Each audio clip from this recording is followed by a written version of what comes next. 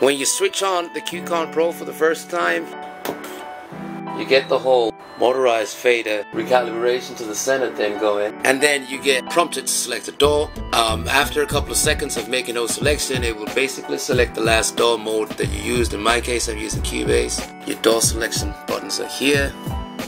So that's to this side of the, the unit. We have a master fader eight faders. Obviously you can shift your banks which then means however many channels you have in your project you can go from bank to bank this is where it gets interesting See, we have eight inputs there, so I'm gonna go ahead and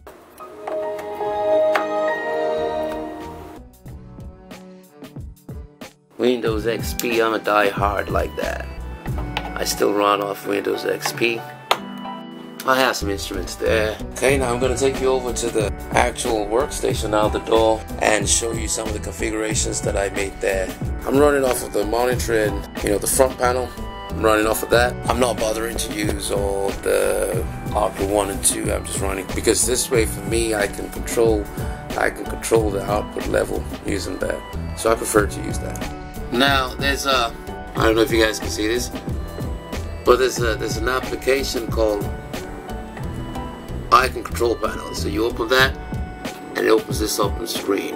And what I do in this is you know this is where you can set the levels for your your mixing levels playback and your monitor mixers so I route I basically route everything through my monitoring analog out the analog out one and two that's essentially the headphone monitoring output that I showed you guys just before we came to the screen so I route everything through that so at any point in time you know, whether we have the sound going on at the booth while I'm in the control room, we can control the levels and we can hear what's going on from all the inputs.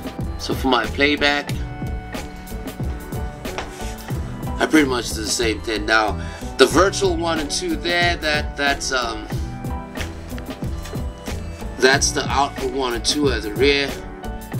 Like I said, you I don't really use that. Um, I just go everything from the headphones sound quality wise, tone wise, I think it's pretty, I quite like it. You know, if you guys are interested, I'll do a more in-depth maybe, take you through a recording session utilizing Umix whilst I'm using the QCon as my DAW controller as well.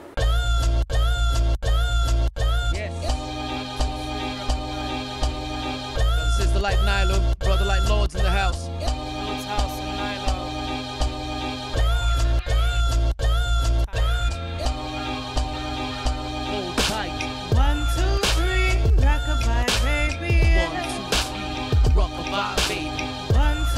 So now that's not bad. Now what I'm going to do next is I'm going to go open a project and then just uh, give you a playback of what we recorded using the uh, Umix uh, real quick and then they'll probably just wrap up the whole presentation.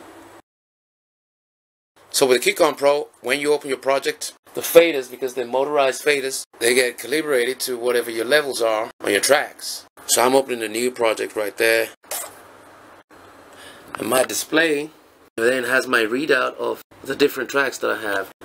I have a button over here where I can shift the display mode and it gives me the actual track titles and my panning. Now because the faders are motorized as well, it means any automation that I have on my tracks will get replicated and also I can use the faders for recording automation onto the tracks as well. Um, like I said, I'm not going to go into an in-depth demonstration right now. I just wanted to sort of give you guys a, a glimpse. Yeah, like to welcome you to Immortal Productions. Peace to everybody in the house. Recorded using the Umix. Yeah. Uh, raise your hands if you feel it like that. Let me flip it like that. Let me kick it like that. Go, go. Don't forget to subscribe and like and share this as well. Now, if you guys are interested in, like I said, doing a more in-depth demonstration of using the uh, QCon Pro and the Umix all together, then yeah, drop a comment and let me know and I'll uh, see what I can do. Take it easy. Coming with the magic again, the mad African. Leave you like an addict again. We at it again, we back in the game.